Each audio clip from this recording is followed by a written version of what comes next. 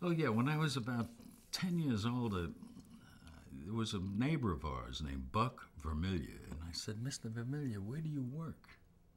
He says, the Noort River. And I thought, what a weird thing. It's like calling a thing the Zero River. And of course, it was the North River, uh, a name that went all the way back to the Dutch uh, for the lower part of the Hudson.